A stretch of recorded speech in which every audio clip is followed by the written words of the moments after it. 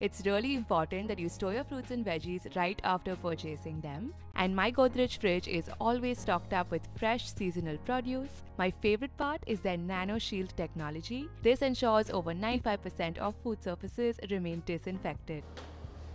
Properly storing your vegetables in the fridge is essential to maintain their freshness and extend their shelf life.